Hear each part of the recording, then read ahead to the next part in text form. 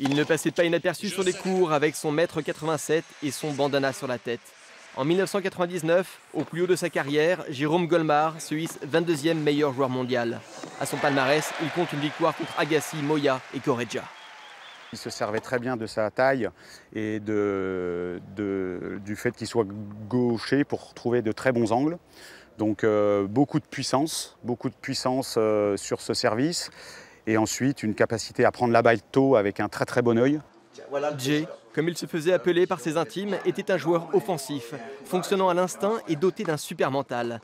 Ses qualités sportives et humaines feront de lui un modèle à suivre dans les clubs locaux.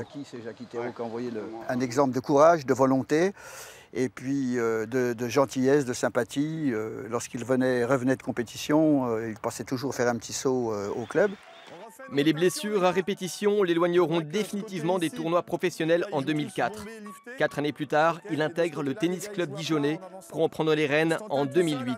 Il emmène alors l'équipe 1 au sommet de sa gloire. Une période absolument folle, quoi. L'engouement qu'il a suscité dans le club a été énorme. On n'avait jamais connu ça à Dijon, en dehors des, rencontres interclubs. Euh, on remplissait le, le, Boulevard Voltaire avec 500-600 personnes. Quoi. On n'avait jamais vu ça. On a fait la fête comme c'est pas possible. Et la dernière année où, hélas, euh, il n'a pas pu nous accompagner, cédant le capitaine à Julien Maes, on a fait le Final Four euh, à Sarcelles et on avait tous en tête son souvenir car le tennisman ne peut plus tenir debout. En 2014, on lui diagnostique la maladie de Charcot. Ce sera son dernier combat, le combat de sa vie.